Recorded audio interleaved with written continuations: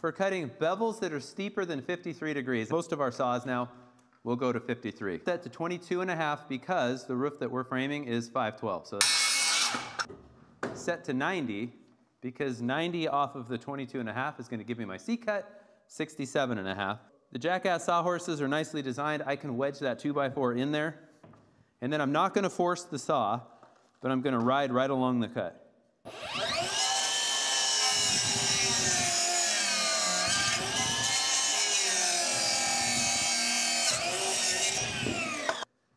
Now, I have my 67 and a half degree bevel.